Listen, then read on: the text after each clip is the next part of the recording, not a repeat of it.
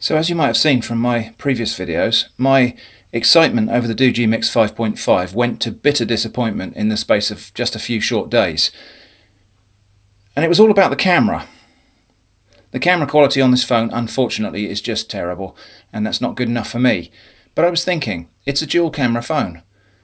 Why does it have two cameras? Well, as I understand it, the purpose of dual cameras on modern smartphones is to make up for the fact that you can't fit better optics in the thickness of a camera body. And so two cameras can be used to combine images and interpolate and produce a photographic result which is better than it would be from a single camera. So I thought, let's test this.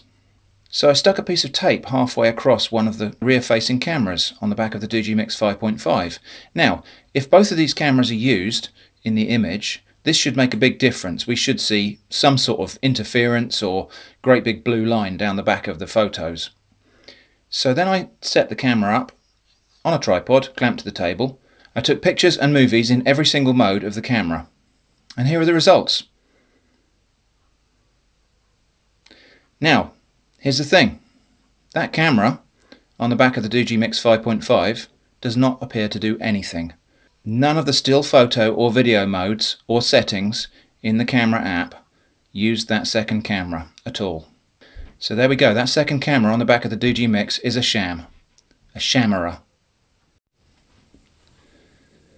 Now, maybe some software or firmware update will come along that will make use of that camera and will improve the photographic performance of this phone.